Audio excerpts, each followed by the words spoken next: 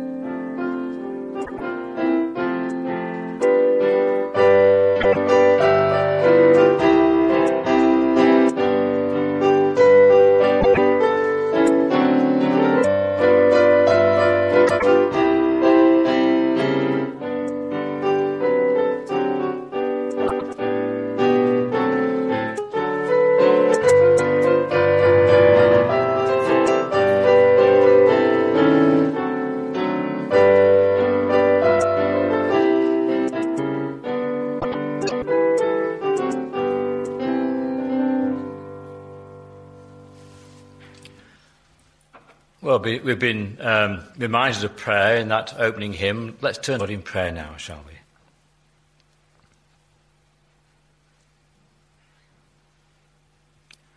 Lord God, we, we do want to thank you that we can meet here this morning after so many months of being separated. Lord, it's good that at least some of us can be together today uh, in your house, worship you. Lord God, we worship you because we know from the Bible and from our own experience that you are a God who is great, who is uh, all wise, a God who is uh, pure and holy, completely perfect, a God who is good and right in everything he does. And Lord, we thank you that you're also a God who is good and merciful and loving. We thank you, Lord God, you, you see us, all our faults and failings, and you have compassion on us, and you care about us. We thank you, Lord, that you're the kind of God that we can pray to, believing, Lord, that you listen to every prayer, believing that you always give the best answer. And so today, Lord, as we gather, I ask you'll help each one of us uh, to bring to you the burdens that we bear, the things that we struggle with, and to leave them with trusting, Lord, that you are able to handle every situation, that nothing is too hard for you. Pray, Lord, for, for those of us here and in, in our wider church fellowship and our friends and families and neighbours who are going through difficult times. You know, so many people are struggling for so many reasons in terms of their health, uh, in terms of loneliness, separation, uh, uh, that have been dashed. Lord, we just pray for each one that they will find you all the help that they need. And Father, we pray especially today for uh, our royal family. Uh, Lord, uh, they're people like us. they grieve like us, especially at the loss of someone who's been a part of their lives for so very many years. We pray for our Queen. Thank you, Lord, for the real faith that she has in you. We pray, Lord, you will uphold her uh, now and in the months to come when she will, she will miss Prince Philip so much. We pray, Lord, for the other members of their family as well. As we often ask at a time like this, uh, Lord, it's a time that reminds us of uh, uh, things beyond this life, of eternity. We pray for our royal family that even at this time there may be some who may find you in the midst of their grief. Lord, we, we commit this service to and ask, Lord, you help us as we seek to worship you in spite of limitations and restrictions. Help us, Lord, as we listen to, to Stuart speaking from your word, that we, we, will, uh, we will listen and learn the things you want us to learn and to put them into practice day by day. So we ask your blessing now for this service. In Jesus' name, Amen. Stuart is going to be talking about the fact we have a God who keeps his promises. The next hymn that, that we were to, to, listen to now as we, we uh, uh, hear the recording of it is His Faithful One. God can. Uh, before we listen to Stuart's talk, I thought it would be good to have, have a song for the younger ones as well. Uh, again, it's a song that fits in with this morning's theme because uh, the point that Stuart's going to make about the fact that we have a, a God who can make the impossible possible. And, uh, and we found a song which, which, simply states the simple truth that with God, uh, nothing is impossible. With God, everything is possible. Now, for myself, uh, I, I, I, just felt, I, I, felt tired just watching this. Uh, but uh, I hope you'll enjoy it. And if any of the younger ones would like to be able to listen to it at home and maybe learn the actions, then just let me know afterwards and I'll, I'll send you the link. I, I, did sway slightly from side to side in that song. That, that was my contribution. But anyway. Uh, but uh, yeah, but those words are true. And, you know, it's one thing to, to listen to an enthusiastic song, but how about this week, whatever we might face? Might be good if God reminds us from time to time this week with the challenges that, that we've got on our plate at the moment in various ways, that with God nothing is impossible. With Him, everything is possible. Uh, we're going to hear the talk now from, from, from Stuart Lythgoe. As I say, he's, he's joined the Open Air Mission to do open air uh, preaching in, in, uh, in, in, our area, this, this area of South Lancashire. So uh, uh I'll, let, I'll let him introduce himself, say a bit about his work, and then bring us a message from the Bible.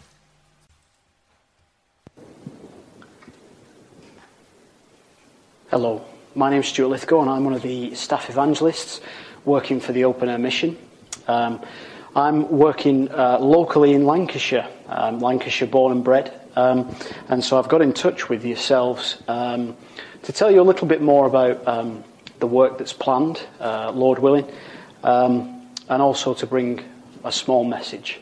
So I began Open Air work 20 years ago now. Um, and I've carried on open air work uh, throughout the years since that time. I began uh, on a beach mission, United Beach Mission in Llandudno, um, where I went, went out and was prompted by the leader um, to do uh, an open air talk.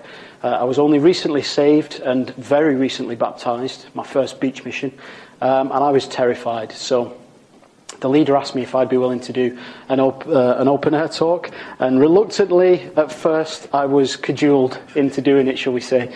And um, as the week progressed, I felt the Lord leading me to speak on the lifeboat. So um, we went out, a friend and I, on the beach team. We found the RNLI lifeboat station on the, uh, the pier and purchased a, a book about um, the lifeboat and many different events where people had been saved. I chose one of those um, events from the history of the lifeboat, the Llandudno lifeboat. Um, and as time was progressing, felt really that the Lord was leading me to speak on that subject. So, as the week had progressed, we came uh, to setting up the board on the beach on the Thursday, and lo and behold, the, the lifeboat was on the beach, ready um, for the talk that God had prepared me to do uh, throughout that week. So I spoke on the lifeboat. There were many people listening, um, and that was my first experience of open air preaching. Um, since then, I've done many years of open air work, as I said, um, and I uh, have done street preaching, I've done door to door work, I've done one to one evangelism through questionnaires or just basically giving out tracts and striking up conversations. Um, and through this time, God has brought me to work for the Open Air Mission uh, as one of the staff evangelists. And so I'm planning at the moment, uh, according to the Lord's will, to begin a number of works throughout the Northwest, one of which will be um, in Bolton. Um, I've open air preached in Bolton before. It's an excellent site uh, to enable open air preaching. Uh, and so I want to just introduce the plans for this work just a little bit. Um, when lockdown lifts, uh, the aim is to get out uh, and start open air preaching in Bolton. Uh, and so, consequently, as part of the foundational work um, for beginning those open airs in the different areas, I'll be going all throughout the northwest from uh, Lancaster all the way over to Burnley, uh, the different sites that I'm thinking of doing. I'm local, so I'm born and bred in Wigan, currently living over uh, Blackburn Way. Uh, and so I'm looking throughout the northwest in the ways that we can begin open our work um, and to tell people about the gospel of Jesus Christ. And so, and call them to repentance that they may have life in his name. So, uh, this video's, as I say, a little bit of an introduction uh, to introduce myself, what uh, I'm doing for the open air mission, and the plans that I have under the open air mission uh, to bring the gospel to many people in different areas. Um, and so, what I want to just do is move on um, and just consider the Word of God with you briefly. Um, maybe slightly unusual doing it by video. Uh, I don't know how you do it currently. But um, what I'm going to do is I'm going to read from Luke uh, chapter 1, verses 26 to 38. Luke chapter 1, verses 26 to 38. Now, in the sixth month, the angel Gabriel was sent by God to a city of Galilee named Nazareth to a virgin betrothed to a man whose name was Joseph, of the house of David. The virgin's name was Mary. And having come in, the angel said to her, Rejoice, highly favoured one, the Lord is with you. Blessed are you among women. But when she saw him, she was troubled at his saying, and considered what manner of greeting this was. Then the angel said to her, Do not be afraid, Mary, for you have found favour with God. And behold, you will conceive in your womb and bring forth a son and shall call his name Jesus. He will be great and will be called the Son of the Highest, and the Lord God will give him the throne of his father David, and he will reign over the house of Jacob forever, and of his kingdom there will be no end. Then Mary said to the angel, How can this be, since I do not know a man? And the angel answered and said to her, The Holy Spirit will come upon you, and the power of the highest will overshadow you. Therefore also that Holy One who is to be born will be called the Son of God. Now indeed, Elizabeth, your relative, has also conceived a son in her old age, and this is now the sixth month for her who was called barren. For with God nothing will be impossible. Then Mary said, Behold, the maidservant of the Lord, let it be to me according to your word. And the angel departed from her.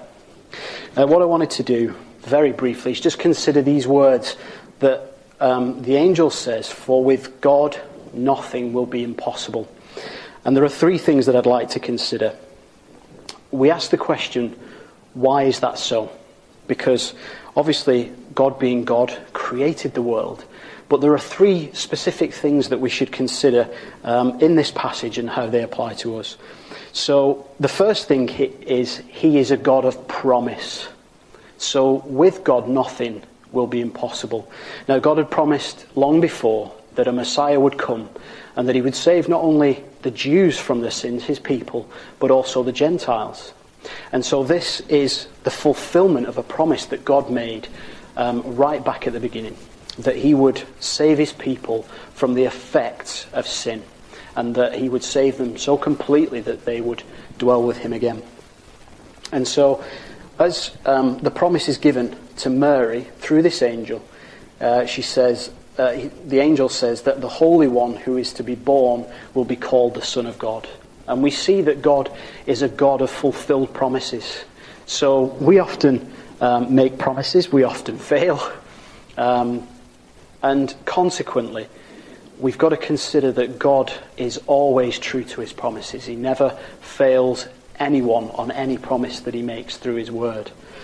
And so, as we consider that for ourselves as a God of promise, he has said that he will build his church. And so we may look around at the world that we see around us currently. We may, in one sense, be in despair and wonder what is going on.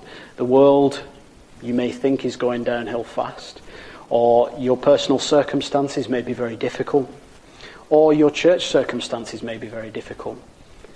I don't know what your circumstances are, but one thing I know is that God is a God of promise. And therefore, we should cling to the promises of God because, as the angel says, for with God nothing will be impossible. Now, the second thing is that God is a God who answers prayer. Now, if you look at um, verse 13, um, Zacharias is uh, in the temple, and an angel appears to him. Um, and it says, But the angel said to him, Do not be afraid, Zacharias, for your prayer is heard, and your wife Elizabeth will bear you a son and you shall call his name John. Now, it's amazing enough that God comes to a virgin and that she conceives, and that child that she conceives is the promised one of God, the one who will save his people, whether from the Jews or from the Gentiles, from their sins. But before that, God also goes to a, a barren couple and they conceive a child in their old age. And the angel comes and says to John, For your prayer is heard.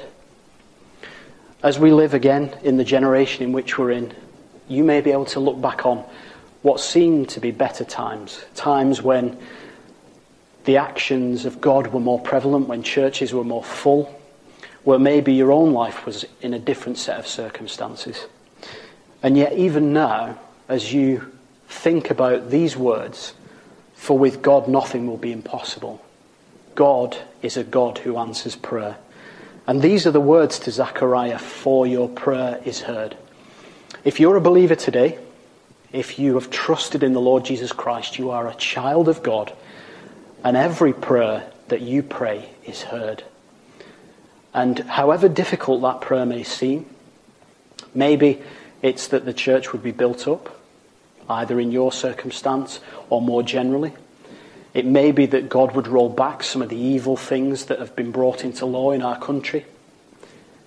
Maybe it's more personal. Maybe it's your own circumstances that you have been praying for a loved one, a friend, a relative, a son or a daughter, or even a husband or a wife, and parents in some cases. Maybe you've been praying faithfully for many years and you wonder, does God still hear prayer? Does he hear your prayers? And the thing is that all of your prayers are heard. And God is a faithful God. And he is a God of promise, as we've said, but he is also a God who answers prayer. Keep praying. And you can hold on to these words and pray them as one of the promises of God. For with God, nothing will be impossible. And let us hope and pray that God will save that person or those people who you've been praying for for many years. Or he will do those things that we, as his people, desire that he would do, rolling back the evil that seems to be progressing in our own country or throughout the world. And that his name will be high and lifted up. But as we consider those two things, we also have to remember that very simply, he is the God who can do the impossible. In um, Matthew's Gospel, uh, chapter 28. Uh, sorry, Matthew's Gospel, chapter 19, verses 23 to 26. Uh, we read a different circumstance. Uh, a rich young man comes to Jesus and says, What must I do to be saved? And the man goes away sorrowful. And Jesus says, Assuredly I say to you that it is hard for a rich man to enter the kingdom of heaven. And again I say to you, it is easier for a camel to go through the eye of a needle than for a rich man to enter the kingdom of God. When his disciples heard it, they were greatly astonished, saying, Who then can be saved? Do we sometimes ask that question? But Jesus looked at them, this God, and said to them, With men this is impossible, but with God all things are possible. He is the God for whom all things are possible. Whatever it is that troubles you, whatever it is that you see as a difficulty, remember that God is the God of the possible. He's a God of promise. He's the God who answers prayer. And He is the God who makes the impossible possible. And as we've said, are you concerned for a loved one, a family member? Are your own personal circumstances in great difficulty? Are your church circumstances of great difficulty? Don't give up praying. Remember that this God is the God who answers prayer, fulfills his promises, and makes the impossible possible. Now, as I come to you, I'm someone who believes firmly in the power of God to salvation for those who believe. And as you're listening now, you may not be someone who knows this God, this God of promise, this God who answers prayer, and this God who makes the impossible possible. Are you someone who thinks, could God ever save someone like me? Could God ever change my circumstances that I would honour Him and glorify Him? As you listen today, it's very simple that Christ Jesus came into the world to save sinners. How can a person be saved? Is the question that the disciples asked. Who then can be saved? But Jesus looked at them. And as I look at you today, these words from Jesus could apply to you if you're yet to turn from your sin and believe on the Lord Jesus Christ. But Jesus looked at them and said to them, With men this is impossible, but with God all things are possible. If you turn from your sin today and simply trust and believe in the Lord Jesus Christ, He has done everything on your behalf for you to be saved. And as I speak to you now, you, if you haven't turned, need to know that there is a day when God will judge the world in righteousness through this same man You've got an opportunity now, today, to turn and believe on the Lord Jesus Christ and be saved. You may not have that opportunity tomorrow, but be thankful that God has given you today. And what else to those who have turned and believed on the Lord Jesus Christ and been saved? I desire to go out onto the streets to share the gospel with whoever I can share the gospel with. And all I want to do is to ask, firstly, that you would pray that you would pray that God will honour his own name as I and others like me seek to go out and to make Jesus known. We know that the gospel has the power to turn around not only towns, villages, cities, but also nations. There was a time when it turned the world upside down. And we pray as we go forth in obedience and faith that it would do the same again. We are weak, feeble, uh, and failing men at times. And yet our God is the God of the impossible, the one who can make all things possible according to his will. And so, as I finish, I want to simply say um, the words from Matthew 28, verses 18 to 20. We desire that God's name would be made known and that we can be involved in the making of disciples as evangelists. And so Matthew 28, 18 to 20 says, And Jesus came and spoke to them, saying, All authority has been given to me in heaven and on earth. My friends, this is our God. This is the one who is with us and has commanded us, as he does now, to go therefore and make disciples of all the nations, baptizing them in the name of the Father and of the Son and of the Holy Spirit teaching them to observe all things that I have commanded you. Why? And lo, I am with you always, even to the end of the age. Amen. And as Jesus spoke those words, they speak to our situation now. God is the God of the possible. Only the one who created the world by the power of his word can turn men from sin to salvation, from darkness to light. And he has sent me forth to proclaim that gospel on the streets. And as you listen today, I pray, if you haven't done already, that you would turn from your sin and believe on the Lord Jesus Christ. If you're a believer, please pray alongside us um, and engage in any way that you're able to, either in prayer or taking our prayer letters, whatever it may be, and be involved in the work that we're seeking to do in whatever way you can so that the gospel can go forth and God's name will be praised. Thank you for listening. Okay, let's pray, shall we? Father, we thank you for calling Stuart to this area at this time. We ask you help him as he surveys the opportunities in, in different towns. We pray, Lord, that soon uh, the legislation will, will be relaxed to the point where he's able to, uh, to preach in different prominent places and, and gather crowds to hear your word. We ask your blessing upon his ministry. We thank you, Lord, that we don't depend upon the, the, the, the clever words and, and speaking abilities of, of, of any person. We depend, Lord, upon your power. And thank you, Lord, that you are a God with whom nothing is impossible. All things are possible. We pray, Lord, for the area where we live. We pray for the, the town of Bolton. We pray for our own town of Horwich. And Lord, we look around and, and sometimes we feel there's so little interest in the things of God. But again, we thank you, Lord. You are a God who, who answers prayer. You are a God who can do the impossible. So we pray, Lord, for your blessing upon Bolton. We pray for your blessing upon uh, this town of Horwich. We pray for your blessing on the, the towns around Wigan, where, where some of us come from.